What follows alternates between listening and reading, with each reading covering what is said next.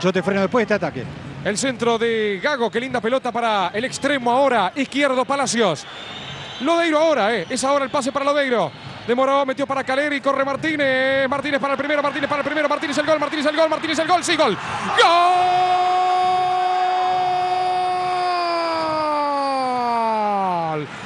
¡Gol!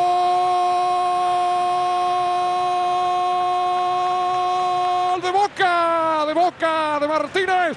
Sí, de Juan Manuel el burrito Martínez. Enganchó, esperó, cruzó el zurdazo y Boca comienza a ganar un partido que insinuaba, comienza a concretar a los 36 minutos del primer tiempo. Boca Juniors 1, Colón 0, Juan Manuel Martínez, el autor del gol. ¿Cuánto puede ese cambio de frente de Gago? En la búsqueda de Palacios, Palacios buscando el centro, Vito lo falla y con comodidad. El burrito Martínez perfilándose. El centro de Palacios aquí tiene destino de Caleri. Controló el burrito Martínez, falló Vítolo.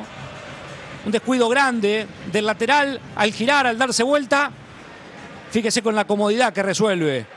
El burrito Martínez ante un bron jugado. Empieza a ganarlo Boca, lo merecía. Le queda Huanca.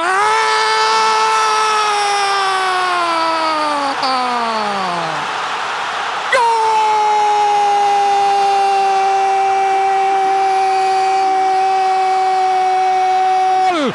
De Colón de Santa Fe, pero qué golazo, pero que viva el fútbol, Huanca querido, la clavó un ángulo, una postal para que sea inolvidable la noche aquí para justificar el apodo. En el cementerio de los elefantes apareció el ex chacarita Cristian Huanca. La cagó en el ángulo.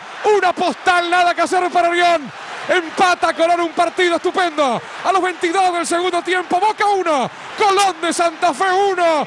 Un zurdazo magnífico, inolvidable de Cristian Huanca, el autor de un golazo. Notábamos a Boca sin reacción y decíamos que era un trámite poco conveniente para Boca porque había perdido la pelota, porque Colón ponía un mediapunta como Huanca